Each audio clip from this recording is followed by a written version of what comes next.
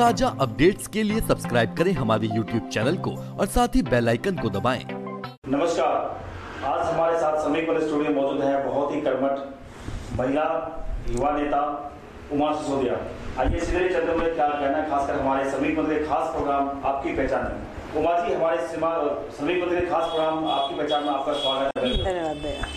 जिस तरीके से आप सीधा ले चलते मुद्दे के काफ़ी मुद्दे तो बहुत है लेकिन इस काम के मुद्दे की बात करें तो आज जिस ज्वलंत मुद्दा है वो मुद्दा हमारे पास जब संज्ञान में आपको भी आपके पास ही है उस पर भी आपकी पार्टी ने हस्तक्षेप ज़रूर किया है। लेकिन उसके रिसर्च की बात करें नतीजा कुछ निकल के नहीं है वो मुद्दा है ज्वलंत मुद्दा है जो कहने जा रहे आप साझा करने जा रहे हैं वो मुद्दा है हमारे पास। आउटसोर्स पंचायती राज के बच्चे हैं चार सौ कार्मिक जो बेरोजगार हैं।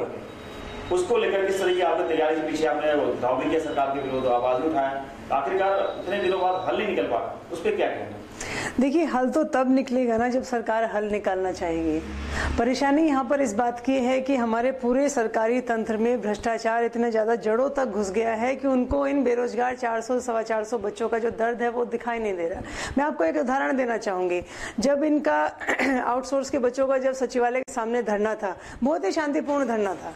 आराम से सब लोग बैठे हुए थे, उनमें से एक या दो उनकी एक मैडम है सीमा सिद्दीकी, वो और एक दो बच्चों को वहाँ सचिवालय में अंदर बुलाया गया बात करने के लिए। वहाँ पर एक महिला थी, उनका नाम था रेखा, और वो एसिड अटैक विक्टिम थी। वो ऐसे अपना चेहरा अपने चुन्नी से छुपाए हुए थी। मैंने उनको देखा, मैंने उनसे बात करी तो उन्होंने, मैंने उनको पूछा कि आप यहाँ पर क्यों हैं? मुझे मालूम नहीं था क्योंकि सभी नॉर्मल बच्चे थे, वो एक एसिड अटैक सर्वाइवर थी। तो उन्होंने मेरे को बताया कि अभी फरवरी में एक इन्होंने एक बड़ा एडवर्टाइजमेंट किया सरकार ने, बड़े मतलब पूरी उसमें एडवर्टाइजमेंट में काफ़ी पैसा वैसा भी खर्च किया होगा और उनके तमाम जनप्रतिनिधि हैं। इन्होंने उन जनप्रतिनिधियों के माध्यम से एडवर्टाइजमेंट के माध्यम से ये कहा कि हम लोग एसिड अटैक सर्वाइवर्स को नौकरी देंगे और इन महिलाओं को ढूंढा गया, जो देहरादून में रहती हैं। उसके बाद इनको ढूंढा गया और इनको एक पोस्टर महिला बना दिया गया कि देखो ये रेखा जो है एसिड अटैक सर्वाइवर है और हम इनको जॉब देंगे और इनको कहा गया कि हम आपको दस हज़ार रुपए की नौकरी देंगे।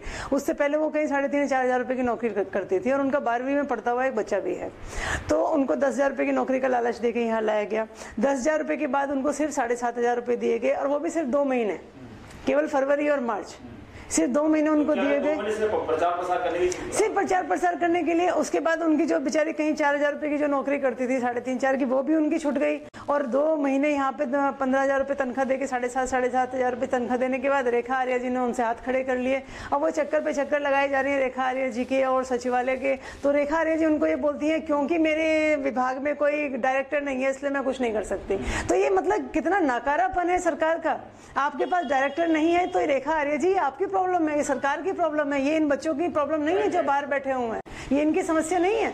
समस्या आपकी है। या तो आपके जो सरकारी अधिकारी हैं, वो इतने बिगड़ैल हो चुके हैं कि वो आपकी नहीं सुन रहे हैं, या आप इतनी गड़बड़ियाँ कुछ कर रही हैं कि आपके साथ वो लोग काम नहीं करना चाह रहे हैं। तो नौकरशाह और सरकार के बीच जो कोऑर्डिनेशन होना चाहिए काम करने का, वो इस समय बिल्कुल खत्म हो चुका है, और ये सबसे बड़ी समस्या है इस समय जो आउटसोर्स पर जो बच्चे बैठे हुए हैं। आप ये देखिए कि अभी मैं आज अखबार पढ़ रही थी तो मदन कौशिक जी कहते हैं कि जिस भी अधिकारी को जहाँ लगाया जाएगा उसको वहाँ कर- काम करना पड़ेगा।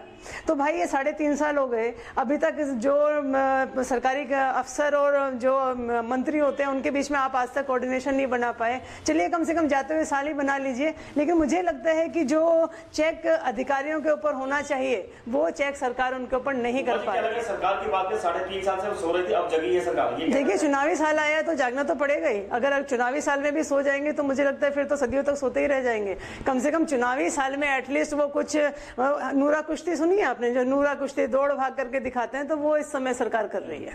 वही खासकर और सोचकर जिस पंचायती राज बच्चों की 400 बात का जो संख्या बल है उनके उसमें गाँव से महिलाएँ भी लड़कियाँ भी हैं। तो उसके जो समस्या वहाँ पर देख के मौके पर मैं करने गया भी था उनके में शेयर करने गया था मैं। तो क्या लगा उनके बहुत सारे समस्या होता है उनके पास। न तो खाने की समस्या दिक्कत है वहाँ पर- सामग्री है, न पानी है, न शौचालय जहाँ नारे गति सरकार की हमारी बीजेपी सरकार, दावे की गुजर हुई है। स्वच्छ स्वच्छ मुक्त बात भारत करने की बात करती है।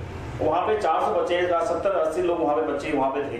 उनके साथ बैठे उठने की समस्या है। तो कहीं ना कहीं एक एकांत जगह में उठा के ले गए धरना प्रदर्शन स्थल को। तो उससे भी लोग ताकि इसे लोग खुद ही छोड़ के भाग जाए। देखिए क्या साफ़ दिखाया सरकार के विषय इसकी मंशा क्या देखिए मैंने आपको अभी बताया कि जब सचिवालय के सामने इन बच्चों का धरना था तो बहुत ही शांतिपूर्ण धरना था। कहीं कोई हो हल्ला नहीं था कहीं कोई नारेबाजी नहीं थी चुपचाप सब लोग बैठे हुए थे। मैं मैं भी उस धरने में बैठी हुई थी। और अगले दिन मैंने अखबार में पढ़ा कि आप नेताओं के ऊपर मुकदमा। जो वहाँ पर बैठे हुए थे, उसमें दस के ऊपर नामजद और बाकी अज्ञात के खिलाफ मुकदमा, कोरोना का मुकदमा, महामारी एक्ट।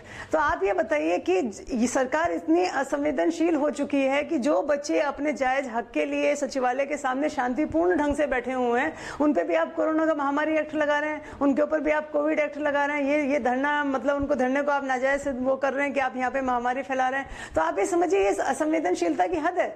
मेरे को बहुत हैरानी हुई जब मैंने खुद अपना नाम अखबार में देखा कि मेरे ऊपर भी मुकदमा मुकदमा और और सारे बच्चों पर भी मुकदमा। आप ये बताइए, एक लोकतांत्रिक देश में, एक लोकतांत्रिक प्रक्रिया को अपनाते हुए अगर लोग धरना प्रदर्शन नहीं करेंगे तो आप क्या चाहते हैं कि हथियार उठा लें हाथों में? तो ये गलत है ये सरासर गलत है। बहुत अच्छी बात चौंकाने वाला वैसे बताया कि आपके नाम करना दर्ज होता है अखबार के थ्रू पता चलता उसके संज्ञान सूचना आपको नहीं मिलती पुल से। नहीं नहीं अभी कोई सूचना इसकी नहीं है मुझे अखबार के थ्रू ही पता चला और बाकायदा नाम के साथ मेरा मेंशन था कि उमा सिसोदिया के ऊपर भी मुकदमा और बाकी तीस बच्चों के ऊपर और मुकदमा। और मुझे इतना दुख हुआ आप यकीन मानेंगे उस धरने प्रदर्शन में सबसे ज़्यादा महिलाएँ थी। और रेखा आर्य जी के जो विभाग है उनका महिला सशक्तिकरण जो विभाग है उसी मुद्दे पर वो महिलाएँ वहाँ बैठी हुई थी और उन लोगों को लगभग फोर्टी फोर परसेंट उनकी तनख्वाह कटकर उनको दी जाती थी। अगर किसी की तनख्वाह जो है वो दस हज़ार रुपए महीना है तो चवालीस परसेंट वो काट लेते थे और मतलब लगभग आप लगाइए कि छप्पन सौ, अट्ठावन सौ या छह हज़ार रुपए उन लोगों को मिलते थे और वो भी सिर्फ़ दो या तीन महीने उन सब लोगों को मिले। आप ये बताइए, छह हज़ार रुपए की तनख्वाह लेने के लिए कोई महिला चमोली से आई हुई है, कोई मनुष्यारी से आई हुई है, कोई रुद्रप्रयाग से आई हुई है? और रही बात ये कि हम उनको धरना करने के लिए सुविधाएँ दें। मैं तो हाथ जोड़ती हूँ कि आप उनके मुकदमे ना करें। यही बहुत सरकार के संवेदन संवेदन संवेदनशीलता होगी कि आप उन पे कम से कम कोविड एक्ट के मुकदमे ना करें। जी आपको क्या सरकार की मंशा है कि कोई प्रोटेक्शन नहीं बोलकर सरकार ने विरोध न जाए? एक ही मंशा पे खिलाफ आवाज़ धरना प्रदर्शन न करें? देखिए कोरोना देखिए को सरासर सरकार ने इस समय जनता को डराने के लिए हथियार बनाया हुआ है। आप एक चीज़ मुझे बताइए कि जब यहाँ पर जो इनका बीजेपी का जो कार्यालय होता है उनका जब वो हवन चल रहा होता है वहाँ पे मुख्यमंत्री और भगत सिंह बंशीधर भगत जी और ये सभी लोग सरासर कोविड नियमों की धज्जियाँ उड़ाते हुए दिखाई देते हैं। उनके ऊपर कोई मुकदमा नहीं होता। जब कंगना रानौत के खिलाफ ये लोग पुतला दहन करते हैं, प्रदर्शन करते हैं, तब इनके कार्यकर्ताओं पर कोई कोई भी उनके ऊपर मुकदमा नहीं होता। लेकिन आम आदमी पार्टी हुई, कांग्रेस हुई या आम जनता हुई मतलब विपक्ष और आम जनता के ऊपर ये उसी समय मुकदमे लगा देते हैं। हमारे यहाँ तो आम आदमी पार्टी में मज़ाक हो गया है कि तुम्हारा स्कोर क्या है? कि आपका क्या स्कोर चल रहा है आजकल मुकदमों का? तो ये मज़ाक का विषय बन चुका है हम लोगों के बीच। ये थे हमारे साथ आज के मेहमान उमा सिसोदिया, आप आदि के प्रदेश प्रवक्ता, इन्होंने बेबाक अपनी बात रखी, खासकर अपने पार्टी की रणनीति पर चर्चा किया। जिस तरीके से कारखाने गठन को लेकर बहुत शीघ्र उन्होंने घोषणा कर दिया कि बहुत शीघ्र लोगों के सामने उनकी कारखाने, नई कारखाने की टीम यहाँ पर मौजूद होंगे, इस तरीके से रणनीति तैयार करेंगे। आज के लिए बस इतना ही।